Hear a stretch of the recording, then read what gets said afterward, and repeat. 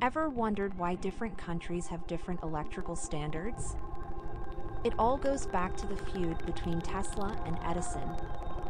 Edison promoted direct current while Tesla introduced alternating current, which eventually won out due to its efficiency over long distances.